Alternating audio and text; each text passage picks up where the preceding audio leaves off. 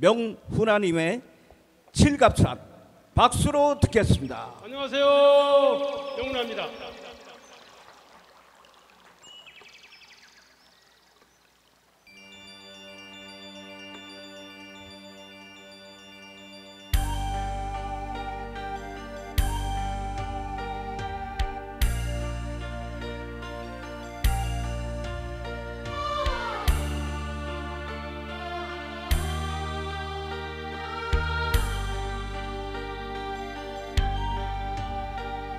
홍반면이 하나예라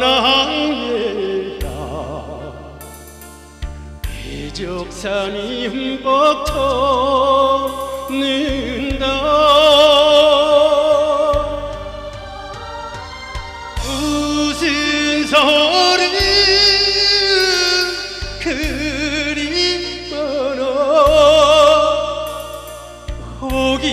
보기마다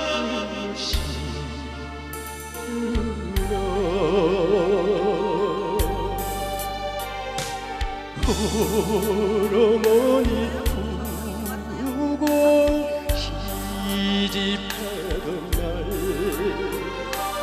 지갑간 한마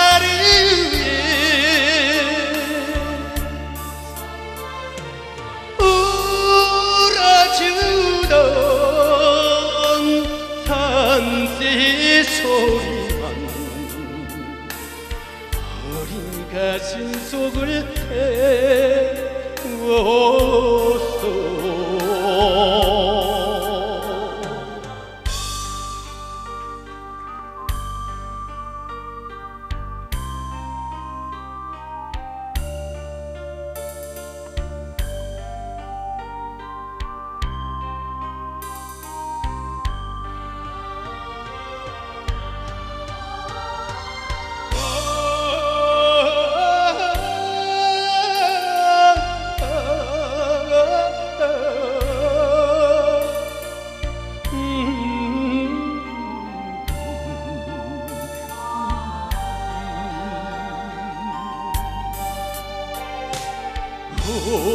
호르몬이 두고 시집하던 날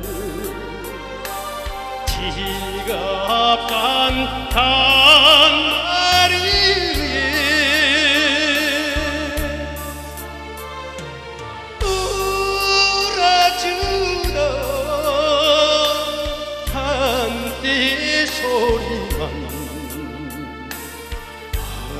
가슴 속을 태우어.